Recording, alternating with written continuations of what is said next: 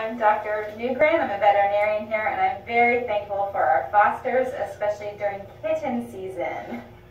Hi, I'm Brea. I'm the veterinary assistant.